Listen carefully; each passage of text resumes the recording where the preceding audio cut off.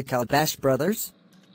More like the fuckhead cocksuckers. It's about this stupid mole being a fuckfuss and releasing two people trapped in a cage to wreak China, and a stupid fucking grandpa plants calabashes in order to save the world. This show is super dumb and fucking annoying as fuck. I'd like to say it ripped off South Park, but this came first, and the animation is super cheap shit, and I can't even fucking forgive my Chinese teacher for putting on an abomination like this fucking shit. You know what I'd rather watch?